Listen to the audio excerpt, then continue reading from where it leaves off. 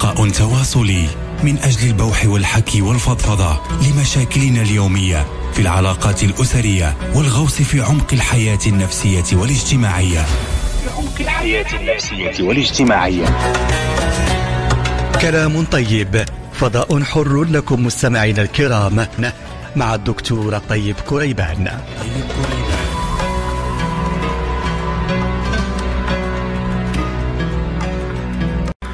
بسم الله الرحمن الرحيم. الحمد لله رب العالمين والصلاة والسلام على مولانا رسول الله وعلى آله وصحبه أجمعين. وبعد أيها الأحبة الكرام السلام عليكم ورحمة الله تعالى وبركاته. حديثنا الليلة عن بنات النبي المصطفى صلى الله عليه وسلم. ندخل إلى بيت الرسول الأكرم نتعرف على أفراد أسرته وخصوصا البنات. لأن بعض الناس يتبرمون من خلفة البنات. بعض الناس يتبرمون من خلفة البنات. ولكن النبي صلى الله عليه وسلم كان دوما يثني عليهن. كان يقول لا تؤذوا البنات فإنهن المؤنسات الغاليات. لا تؤذوا البنات فإنهن المؤنسات الغاليات.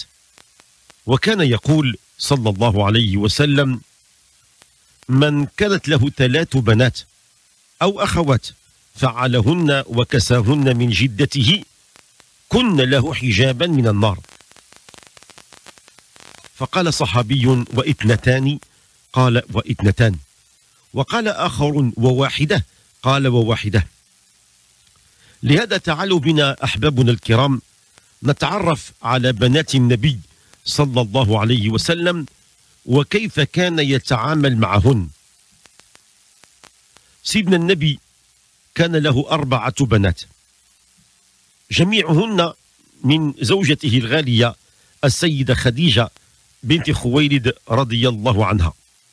أربع بنات وهن زينب ورقية وأم كلثوم وفاطمة رضي الله عنهم أجمعين. الغريب أن جميع بنات النبي صلى الله عليه وسلم توفين في حياته. كلهن ماتوا في حياته ما عدا فاطمة لحقت به بعد بضعة شهور. كلهن فارقن الحياة وهن في سن صغيرة. أكبرهن لم تتجاوز الثلاثين من العمر. شيء مؤلم ومؤسف للغاية. تعالوا أحبابنا الكرام نتعرف عن بنات النبي صلى الله عليه وسلم. البنت الكبرى من هي؟ هي السيدة زينب. أنجبتها أمنا خديجة رضي الله عنها. وكانت فرحة النبي صلى الله عليه وسلم فرحة عظيمة. لأن كان عمره أنذاك سيدنا النبي 30 سنة في ريعان الشباب. لما رزق بزينب كان فرحا ولا يرى إلا مسرورا يضمها إليه ويشتم رائحتها ويداعبها لما بلغت سن الرشد تقدم لخطبتها ابن خالتها. وتزوج زوجها النبي صلى الله عليه وسلم مبكرا. وحينما بعث النبي صلى الله عليه وسلم بالرسالة أسلمت وحسن إسلامها. ولكن زوجها اسمه أبو العاص ابن الربيع كان رجل لبيب وعاقل ولكنه رفض أن يعتنق الإسلام. فكانت ورطة كبيرة كيف أن بنت النبي صلى الله عليه وسلم وزوجها يرفض الإسلام. وكانت لها علاقة وطيدة مع زوجها محبة كبيرة. حتى إنه استحيا وقال لها قال لها يا زينب تعلمين مكانتك عندي ولكني أخشى أن يقال بأن فلان أسلم إرضاء لزوجته وبقي على شركه.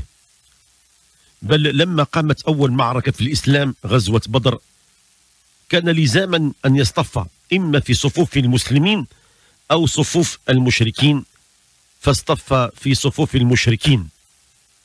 زينب كانت دائما ترى تبكي دائما تبكي لأنها كانت متعلقة بهذا الزوج بينهما محبة ومودة. ولكن الله تعالى لم يحبب له بعد الإيمان. إنك لا تهدي من أحببت ولكن الله يهدي من يشاء. دوما كانت تردد هذه الكلمات. كلما سمعت أخبار عن زوجها وعلمت بأنه لا زال في صفوف المشركين تبكي وتقول إنك لا تهدي من أحببت ولكن الله يهدي من يشاء. حتى إنه لما انتهت المعركة وقع أسير من الأسرى. وكان الناس يفدون أهاليهم.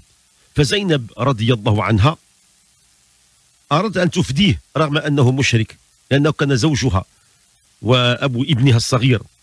فرحت بابنها وتريد أن تسترجع زوجها ولكنه مشرك. فكان أن سن النبي صلى الله عليه وسلم سنة الفداء. أن من من قام بتقديم الفدية ممكن أن نطلق الأسير. فجاءت زينب على استحياء تختفي. لم تكن تملئك إلا قلادة. كانت قد أهدتها لها أمها خديجة يوم زواجها. وهذه القلادة كان قد اشتراها النبي صلى الله عليه وسلم وبدوره أهداها لزوجته أمنا خديجة.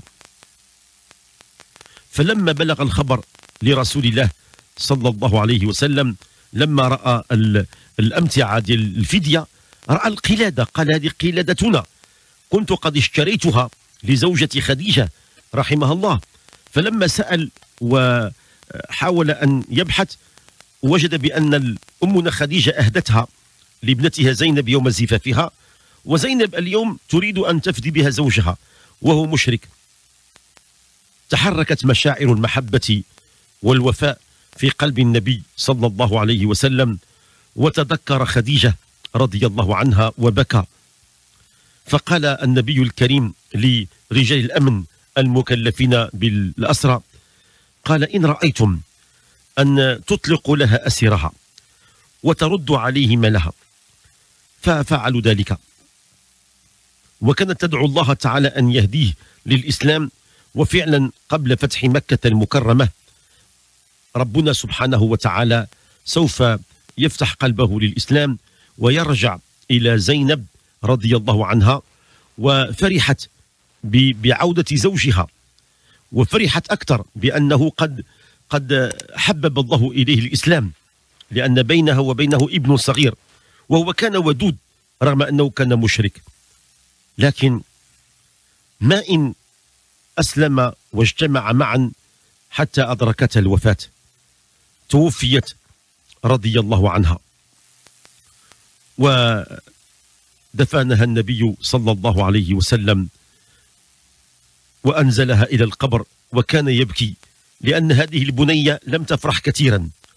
منذ أن ولدت وهي صغيرة تركتها أمها وهي هي صارت ضاقت اليتم مبكرا عقب زواجها مباشرة ومنذ أن تزوجت وصار الصراع بين المسلمين والمشركين افترقت عن زوجها وما إن عاد إليها واجتمع الشمل بينهما حتى أدركت الوفاة وماتت. إنها زينب بنت رسول الله صلى الله عليه وسلم البنت الكبرى. بعد زينب جاءت رقية. رقية رضي الله عنها ولدت لرسول الله صلى الله عليه وسلم لما كان عمره 33 سنة. أيضا لما رزق بها كان دوما يشعر بالفرحة ويشعر بالسرور. وبعدها ستأتي بنية أخرى اسمها أم كلثوم. حينما بلغت كل من رقية وأم كلثوم سن الزواج قبل الإسلام جاء أحد السياد قريش وهو أبو لهب. كان يلقب بعبد العزة بن عبد المطلب من أشراف قريش. جاء يخطب من من النبي بناته. قال انت عندك بنيتين رقية وأم كلثوم على درجة عالية من الأدب والحسن أريد أن أخطبهما لولدي عتبة وعتيبة. فوافق النبي صلى الله عليه وسلم وتم هذا الزواج. لكن الذي وقع وهو أنه لما جاء الإسلام صار أبو لهب من أبرز قادة المشركين. فأما رقية فهي كانت دوما تتبرم من هذا الزوج عتبة وقبل أن يدخل بها طلقها ولحقت بأبيها. بنت النبي الكريم صارت مطلقة. فبقيت عند أبيها وكان أبوها يقول لعل الله تعالى يعوضك خيرا منه. تقول يا أبتي فيه سلوكات شديدة وعنيف وتصرفات غريبة. فقبل البناء قبل أن يدخل بها طلقها. وكان النبي الكريم يقول لها لا تحزني لعل الله تعالى يحدث بعد ذلك أمرا. ما هي إلا مدة قليلة فجاء خاطب آخر من أرفع وأنبل شباب الصحابة وهو سيدنا عثمان بن عفان رضي الله عنه. فما إن تزوج بها حتى أصابها مرض شديد. فصارت رقية طريحة الفراش هي الأخرى لم تفرح. منذ أن كانت صبية رزقت في أمها وضاقت مرارة اليتم ماتت الأم ولما تزوجها الرجل الأول عتبة كان أبوه هو شيخ المشركين كان يعنفها فقبل الدخول طلبت الطلاق. وما إن أكرمها الله تعالى بهذا الشاب الوسيم الأريب سيدنا عثمان بن عفان إلا وقد أصابها المرض. فبقيت طريحة الفراش. سيدنا عثمان كان نعم الزوج.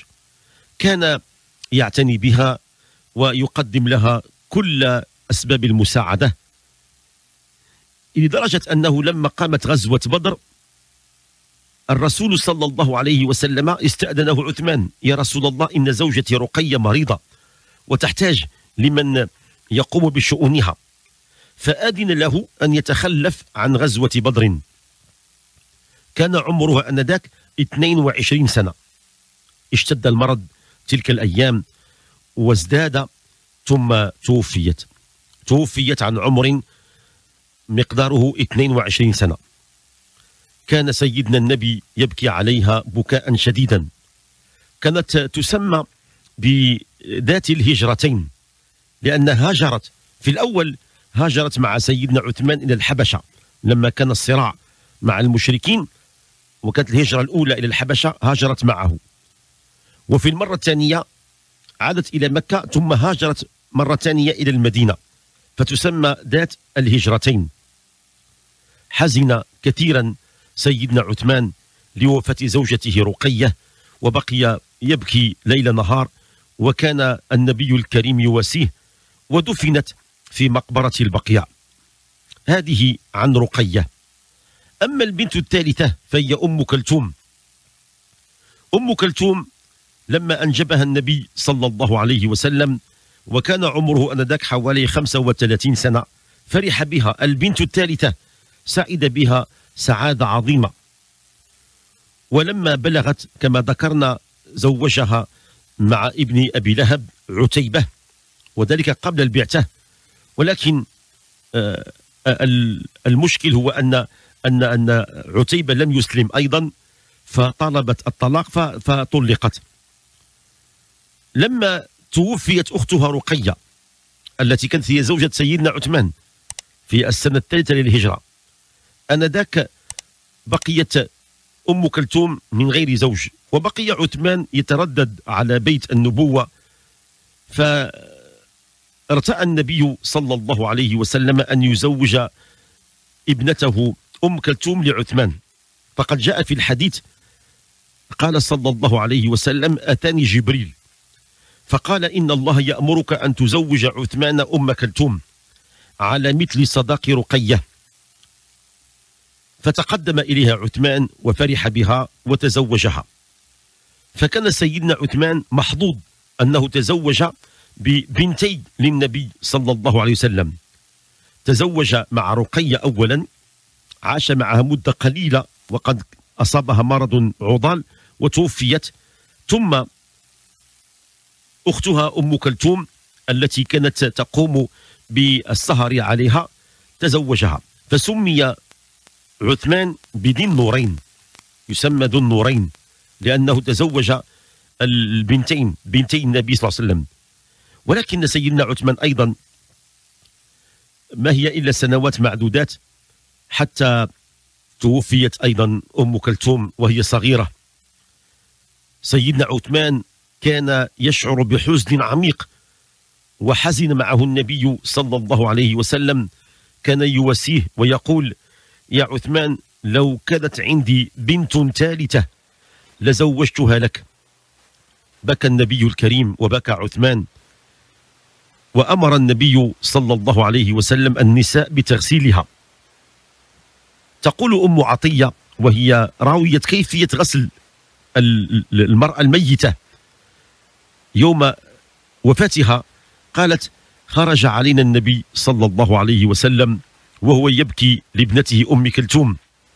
فقال اغسلنها ثلاثا. المرأة الميتة اغسلنها ثلاثا أو خمسا أو أكثر من ذلك. إن رأيتن بماء وسدر. ثم اجعلن في الآخرة كافورا. فإذا فرغتن فآذناني قالت فلما فرغنا من غسلها نادينا النبي الكريم فجاء إليها وقبلها بين جبينها ثم ألقى إلينا حقوه. قال أشعرنها إياه.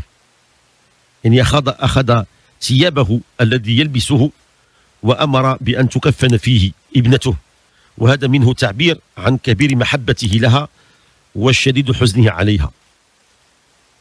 هادو الفتيات هم بنات النبي صلى الله عليه وسلم توفين جميعهن في حياة النبي زينب.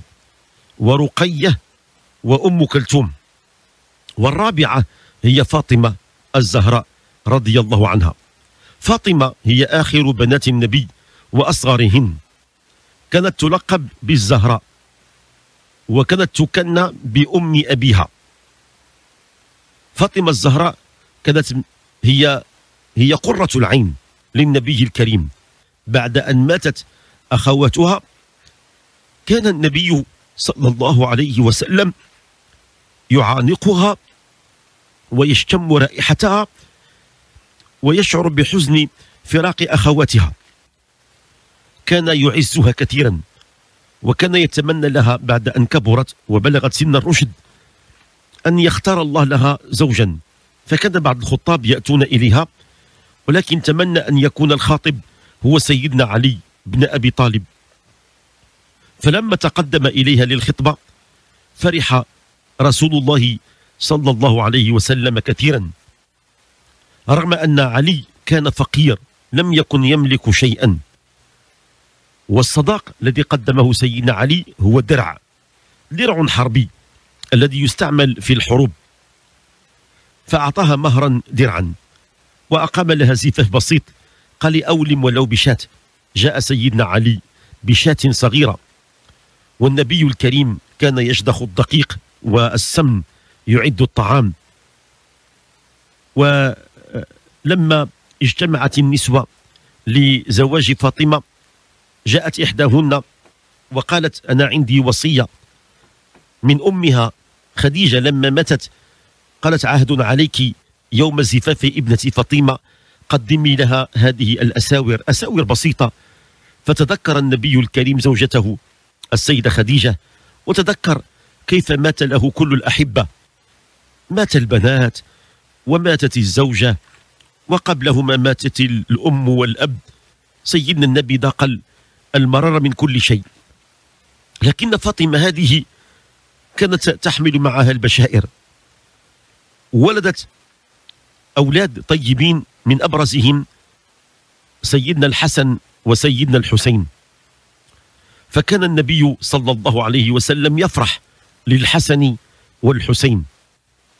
مرة كان يداعبهما فجاءت فاطمة وجاء علي فإذا بالنبي يأخذ كساء ويضمهم داخل الكساء ويقول اللهم هؤلاء أهل بيتي اللهم فأذهب عنهم الرجز وطهرهم تطهيرا.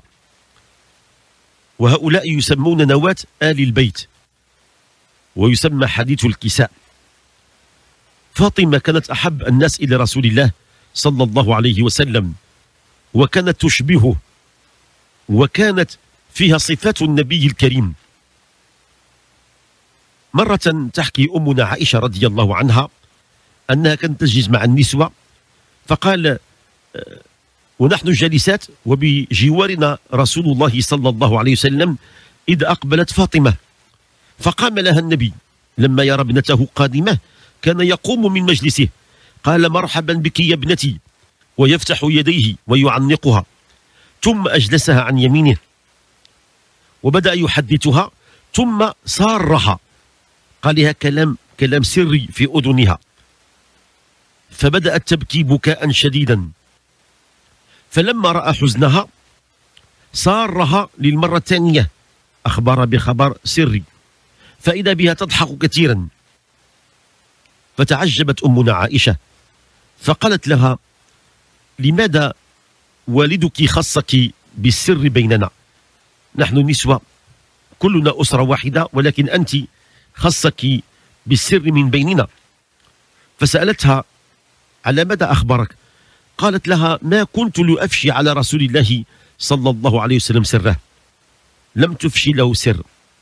ولكن لما توفي النبي صلى الله عليه وسلم جاءتها مرة ثانية السيدة عائشة رضي الله عنها فقالت لها الآن وقد توفي رسول الله فأخبريني ماذا أسرك؟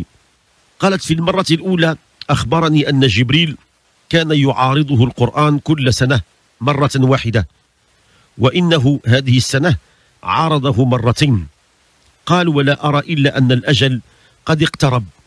فيا بنيتي يا فاطمة اتقي الله واصبري فإني نعم السلف أنا لك. فلما علمت بأن سيدنا النبي سوف يتوفى وأن هذه علامة الوفاة ما دام أن جبريل كان يعارضه القرآن مرتين مرة واحدة في السنة وهذه مرة مرتين مع الناس يودع. قالت فبكيت بكائي التي رأيت. ولما رآني أبكي منجعجة أراد أن يسرني فقال يا فاطمة لا تبكي لا تحزني. ألا ترضين أن تكوني سيدة نساء المؤمنين أو سيدة نساء هذه الأمة؟ قالت بلى قالت فضحكت. ثم أخبرها بأنك ستكونين أول أهل بيتي لحوقا بي. أول واحد من أفراد الأسرة سيلتحق به أنت يا فاطمة. وفعلا لما توفي النبي صلى الله عليه وسلم مرت ستة شهور فلحقت به فاطمة الزهراء رضي الله عنها. كان النبي الكريم دائما يعانقها ويبشرها ويقول حسبك يا فاطمة من نساء العالمين. حسبك من نساء العالمين مريم بنت عمران وخديجة بنت خويلد وآسية امرأة فرعون وفاطمة بنت محمد. يعني خير نساء الجنة هم هؤلاء الأربعة مريم ابنة عمران أم السيد المسيح عليه السلام وآسية امرأة فرعون. رغم أنها كانت متزوجة برجل إدعى الألوهية لكنها آمنت وحسن إيمانها. ثم خديجة بنت خويلد أول من أسلم من النساء. ثم فاطمة الزهراء بنت رسول الله صلى الله عليه وسلم هي آخي العنقود وهي خير نساء العالمين.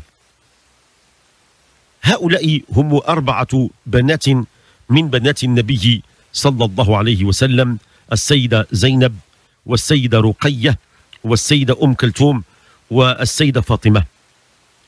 نتساءل علاقة رسول الله صلى الله عليه وسلم ببناته وكان المجتمع الجاهلي يحتقر البنات. كان الواحد منهم إذا رزق ببنت كان يرى وجهه مسودا. كما ذكر القرآن الكريم. وإذا بشر أحدهم بالأنثى ظل وجهه مسودا وهو كظيم يتوارى من القوم من سوء ما بشر به. أيمسكه على هون أم يدسه في التراب؟ ألا ساء ما يحكمون. هكذا كان العرب يتعاملون في الغالب مع البنات. لكن النبي صلى الله عليه وسلم شرع لهم سنة جديدة في التعامل مع البنات. أنه كان يفرح لزيادتهن وكان يسعد بمرافقتهن وكان يقوم على خدمتهن ويستبشر بهن. كلما ولدت له ابنة فرح بها واستبشر ويختار لها أجمل الأسماء. نشأن في بيت النبوة. هنيئا لهن. أبوهن هو محمد رسول الله صلى الله عليه وسلم وأمهن هي خديجة. رضي الله عنها. أول من أسلمت على الإطلاق. معاملة الرسول صلى الله عليه وسلم لبناته كانت في غاية الرحمة وغاية الحكمة. من ذلك مثلا كان عنده ما يسمى بحسن الاستقبال والترحيب. كلما رأى ابنته كان خارج في الأعمال في الخارج ودخل إلى بيته أول ما يفعل وهو حسن الاستقبال والترحاب. يفسح يديه ويعنقهن ويقبلهن. وكان صلى الله عليه وسلم يحرص دوما على إدخال السرور والفرحة على قلوبهن. أي شيء قد يعكر صفهن أو يحزن نفوسهن لا يذكره. بل كان يجتهد على إدخال السرور على قلوبهن. وكان يقوم بإطمئنانهن على أسراره. لا يطمئن على أحد ولا يأتمن أحد على أسراره إلا بناته. بل كان من عظيم عنايته لهؤلاء البنات أنه يسارع بتزويجهن لمن رأى فيهم دين متين أو رجحة عقل. وكان يحرص لما كبرنا أن يختار لهن الأزواج الأتقياء الصالحين. ودوما كان يستشيرهن ويسألهن ودائما يعتبر رأيهن. لما أنزل الله تعالى آية الحجاب والستر أمرهن بلباس الحجاب والستر في اللباس استجابة لأمر الله تعالى. لما قال سبحانه يا أيها النبي قل لأزواجك وبناتك ونساء المؤمنين يدنين عليهن من جلابيبهن ذلك أدنى أن يعرفن فلا يؤذين. وكان الله غفورا رحيما. لما نزلت هذه الآيات خرج النبي صلى الله عليه وسلم إلى السوق واشترى أتواب مختلفات وجاء بهن إلى بناته وقدمه لهن كهدية وقال يا بنيتي لقد أنزل الله تعالى الأمر بالحجاب والستر. فوضع الحجاب بيديه الكريمتين على أجسادهن يضع المنديل ويضع الثياب ويعانقهن ويقبلهن. فتقبلن ذلك بقلب رحب.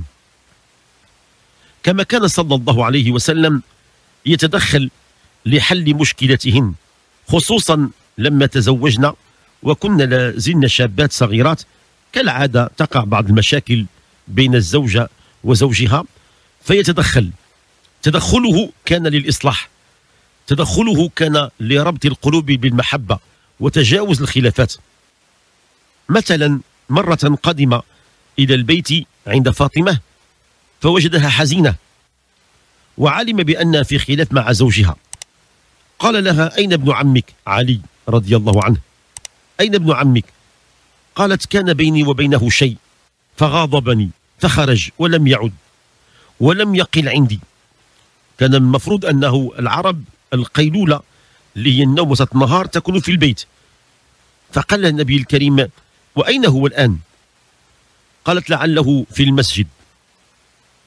فترك النبي الكريم ابنته فاطمة حزينة منكسرة وخرج إلى المسجد يبحث فإذا به يرى سيدنا علي مضطجع في المسجد يرقد وقد سقط رداءه عن شقه وأصابه التراب.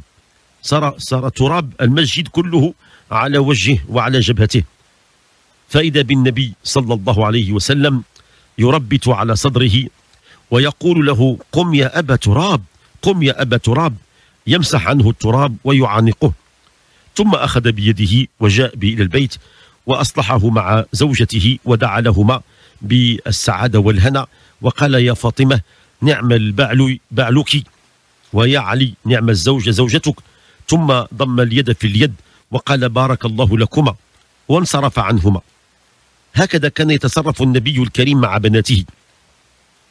وإذا إحداهن رزقت بأولاد كان يشارك في العقيقة فكان يشتري الكبش ويذبح بيده ويدعو العائلة والمقربين والجيران. فلما ازدان الحسن والحسين فرح أكثر وذبح لكل منهما كبشا كبشا. وأيضا من أهم ما اهتم بهم أنه لما ربنا عز وجل أمره بالدعوة للإسلام. أول أمر لما نزل قوله تعالى وأنذر عشيرتك الأقربين أمره الله بالجهر بالدعوة لأن الدعوة في الأول كانت سرية لكن فيما بعد قال له لابد أن تكون الدعوة جهرية فنزل عليه قوله تعالى وأنذر عاشيتك الأقربين ثم قال له واصدع بما تؤمر جاء إلى إلى قومه فقال يا معشر قريش يا بني فلان يا بني عبد مناف لا أغني عنكم من الله شيئا. يا عباس بن عبد المطلب لا أغني عنك من الله شيئا. يا صفية عمة رسول الله لا أغني عنك من الله شيئا.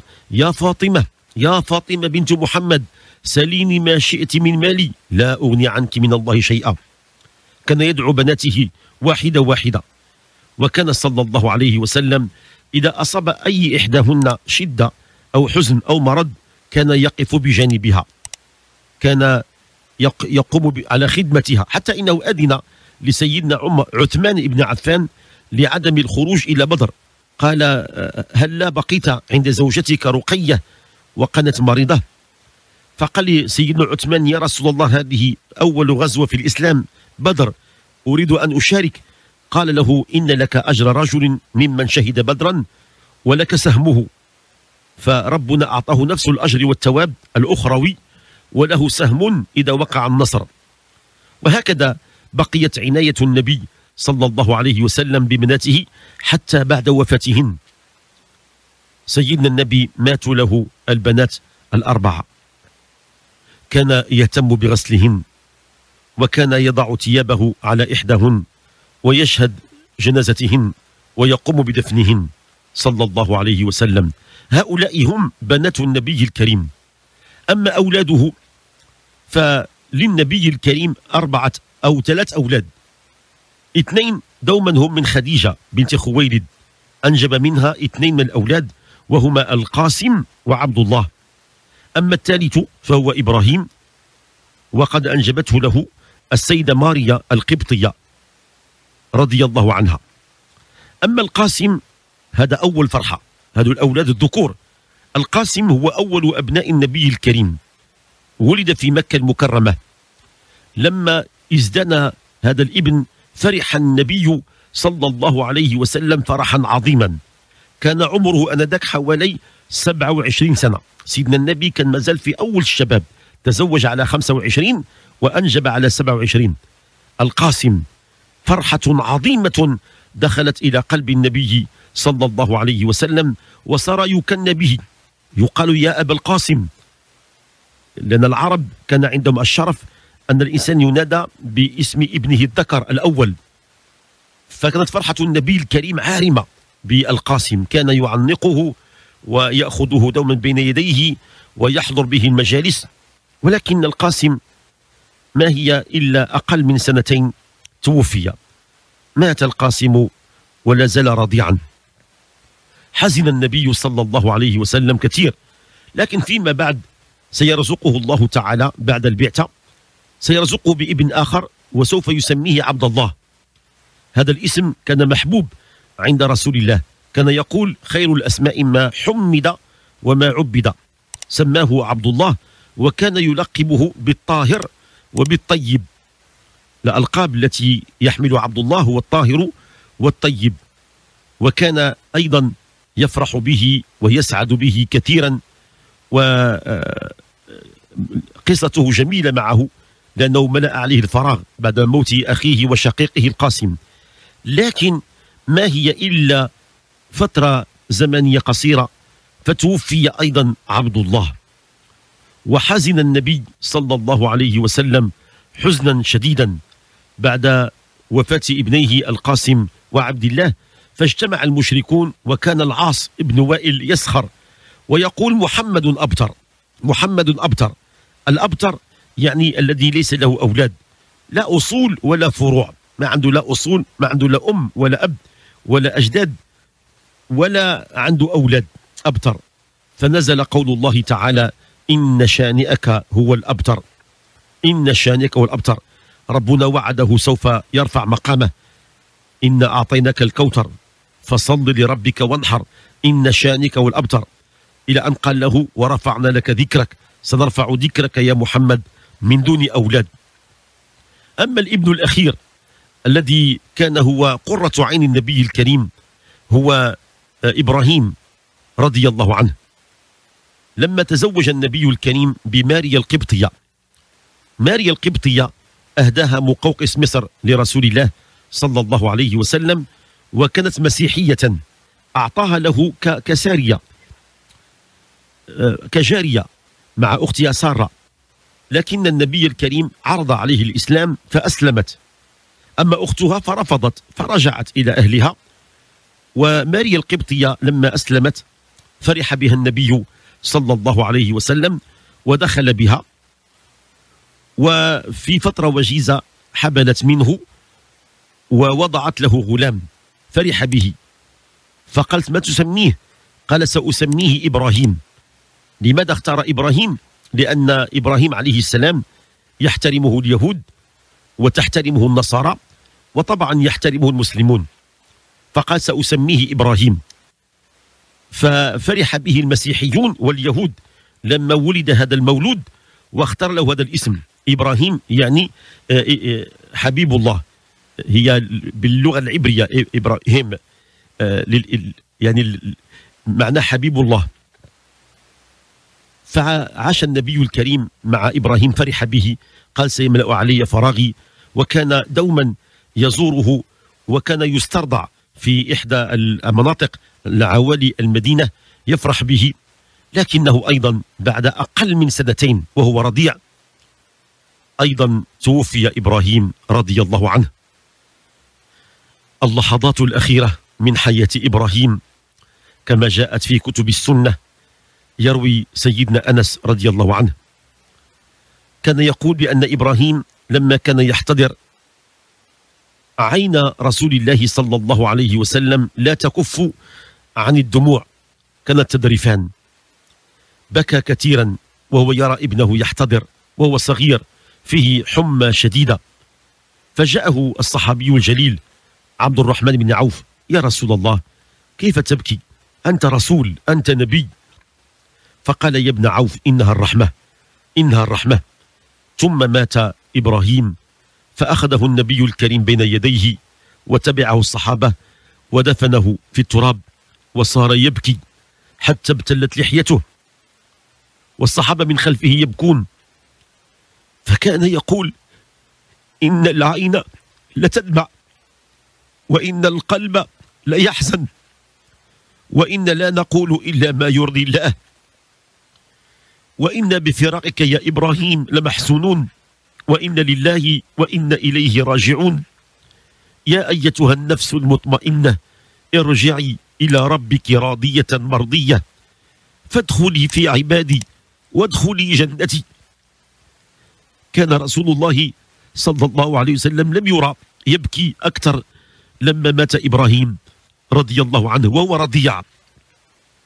وذلك اليوم يوم وفاة إبراهيم وقع أمر غريب في الكون.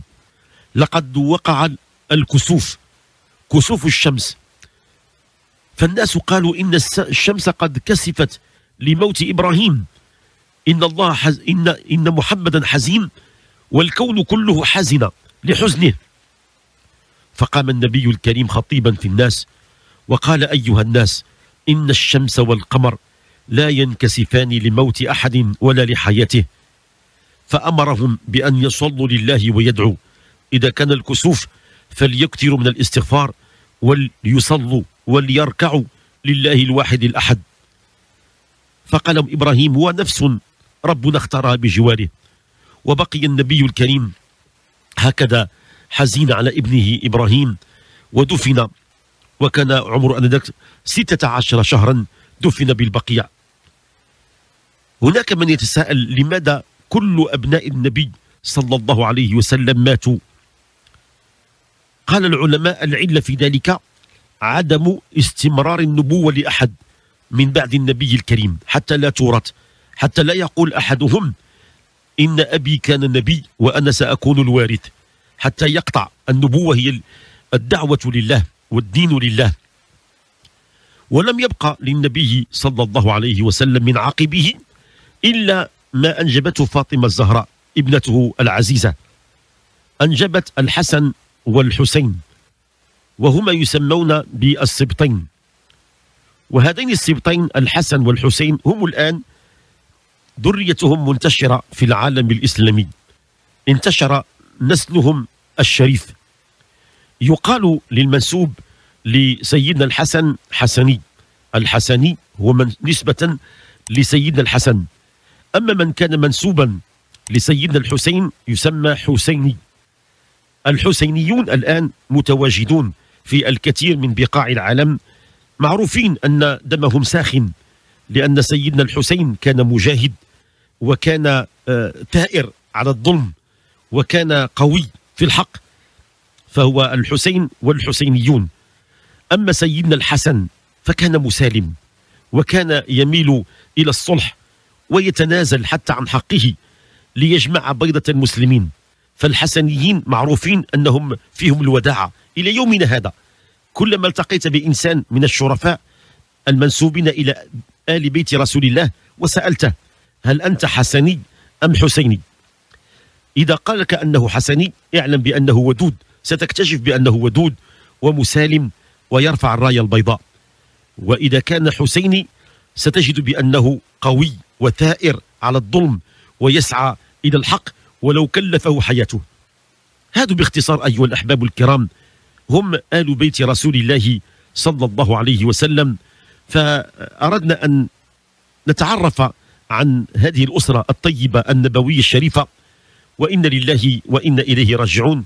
أسأل الله تعالى أن يسكنهم جميعا في واسع رحمته في الفردوس الأعلى بجوار أبيهم سيدنا محمد صلى الله عليه وسلم وأن يلحقنا بهم مؤمنين غير خزايا ولا مفتونين وأن يصلح أولادنا وبناتنا ويجعلنا على التقى والهدى. إنه سميع قريب مجيب. السلام عليكم. لا تنسوا الإعجاب بالفيديو والاشتراك في القناة. تشجيعا لنا لنستمر بنشر المزيد إن شاء الله.